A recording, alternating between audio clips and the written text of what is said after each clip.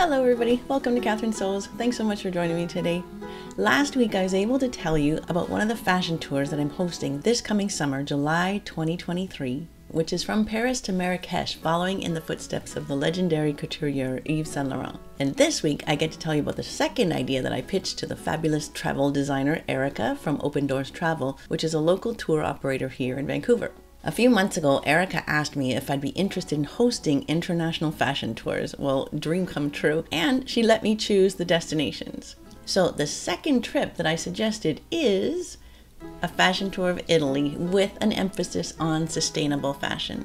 I've never been to Italy, but I've always adored the great Italian fashion designers such as Armani, Valentino, Versace, Prada, Ferre, and Gucci. Italy's fashion industry is always cutting edge and exciting. But these days, there's so much going on in terms of innovative, sustainable fashion that I really want to go and check it out. In fact, sustainable fashion is so important in Italy that the Green Carpet Fashion Awards started there in Milan in 2017 and it's been going ever since. Some of the big names in Italian fashion and some really interesting little small startup companies are using innovation and technology that is ethical and sustainable but does not compromise on style. This trip takes us on all of the cities that I've always wanted to see in Italy Milan, Venice, Florence, even Verona, and we'll get to do all of the touristy things that I've always wanted to do, with the addition of going into some ateliers and seeing these little interesting startup businesses doing some amazingly creative and innovative things. If I just tried to go to Italy on my own, I don't think I'd have the same experience, and I definitely wouldn't be able to share it with a group who's also really interested in all of those things. As I mentioned in the previous video, these trips are not exactly cheap. They are luxury travel. In fact, this one is a little bit more expensive than the Paris to Morocco trip. But as one viewer commented in the last video, the prices posted on the Open Doors travel website are in Canadian dollars. So if you're converting from another currency like US, then it actually ends up being a really good deal for everything that's included. And again, it's the kind of trip that is so much better to do in a small group of like minded people. So I believe it's well worth it for this once in a lifetime experience. Social travel is ideal for a trip like this because we'll be a small intimate group of 10 to 15 people who all have a keen interest in fashion, sustainability, and in Italy. Even though we'll arrive as strangers, we'll have so much in common that we'll leave as friends with so many shared memories that will last a lifetime. If you can't join us this time, I'll be sharing the whole experience on my channel. Maybe you'll start thinking about saving up and coming along on the next fashion tour that Open Doors Travel puts together for us. Your flights from home to Italy and back are not included in the cost of the trip because we'll all be coming from different areas of the world. And maybe you want to arrive a few days early and explore on your own. You can either book your own flights or Open Doors Travel can assist you with that. So the trip begins when we meet at our beautiful hotel in Milan for a three night stay. We'll get to know each other a bit as we head out to orient ourselves on a guided tour of Milan's beautiful sights, including Milan's Duomo, the largest cathedral in Italy, built in the Gothic style over a span of nearly 600 years. After our sightseeing tour, we'll head out for a welcome dinner.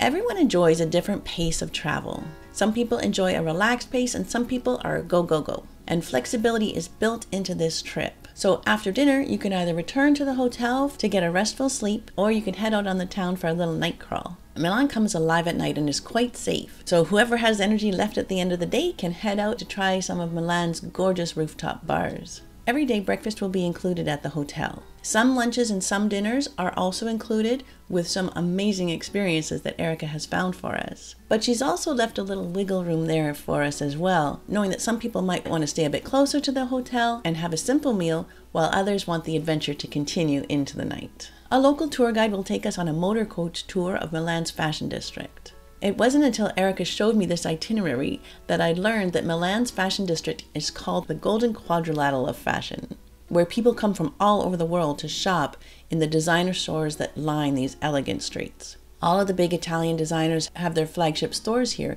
as well as many other international designers, including Yves Saint Laurent. For me, this area will be some divine window shopping because, holy smokes, expensive. But then nearby, in fact, right close to the Duomo, there's another shopping area called the Galleria Vittorio Emanuele II, which looks like this. Now, how did I not know this? How have I never been to this magical place? These beautiful glass vaulted ceilings cover passageways that run in the shape of a cross, connecting the Duomo to the Opera House. And while this looks even fancier, the Galleria actually houses more affordable brands. Our guide will also take us to many small ateliers or designers' workshops over the course of this trip, including one that empowers women in vulnerable situations by offering training in tailoring, upcycling, reusing, and recycling textiles. One super innovative startup that's actually making textiles out of waste marble, somehow turning marble dust into flexible fabrics.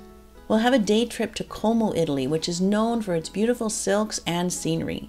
We'll check out an atelier there and complete our day with a food tour of this captivating area.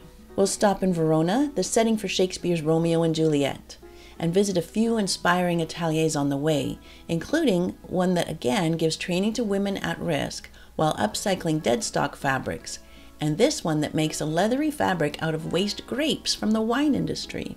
We'll have a two night stay in Venice at this charming hotel. A local guide will take us on a guided tour of Venice and their beautiful sights. We'll have a tour of local ateliers and wrap up our day with a tour of Venice's bacari wine bars and their famous cicchetti dishes, kind of like tapas but Italian style. We'll have three nights in Florence, starting with a sightseeing tour that includes Florence's beautiful cathedral, the Piazza Signoria with its imposing statues, Ponte Vecchio, the old bridge with an interesting history, it's lined with fabulous jewelry stores, and Santa Croce, the oldest Franciscan church in the world and the burial site of many of Florence's most famous citizens, such as Machiavelli, Michelangelo, and Galileo Galilei.